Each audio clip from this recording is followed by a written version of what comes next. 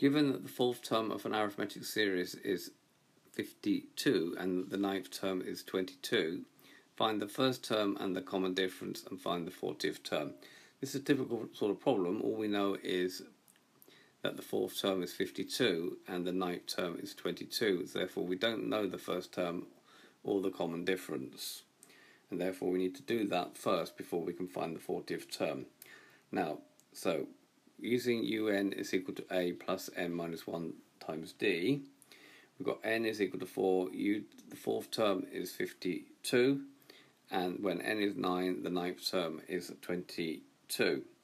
So we require both a and d, therefore two unknowns, therefore we need to use simultaneous equations.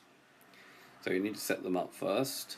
So we've got 52, using this formula here, is equal to the first term that we don't know, plus n minus 1, so it's going to be plus 4 minus 1 times d, and that can be simplified to a plus 3d, 4 minus 1 is equal to 52, we call that equation 1.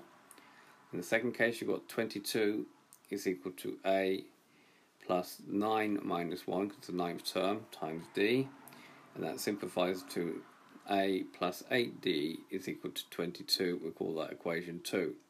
Right, to eliminate the a's we need to subtract, so we subtract 1 minus 2. a minus a is nothing, 3 minus 8 gives me minus 5, and then 52 take away 22 is 30. Dividing that by minus 5, we get that d is minus 6. So therefore to find uh, a you need to substitute into one of the equations. So we'll substitute into equation 1, this one here. So we're going to have a plus 3 times d, 3 times minus 6, be careful with the sign, is equal to 52. a minus 18 is equal to 52. Adding 18 to both sides, we're going to have that a is equal to 70. You should just check that works in 2. So checking in 2, so a is uh, 70, d is minus 6, so we do 70 plus 8 times minus 6, that's 70 plus minus 48, which gives me 22, which is what I wanted to find here, this 22. That's okay.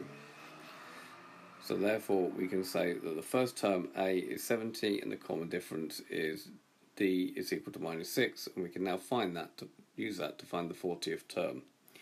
So we've got a is 70, d is minus 6, n is 40 and we need to find the 40th term. So using un is equal to a plus n minus 1 times d.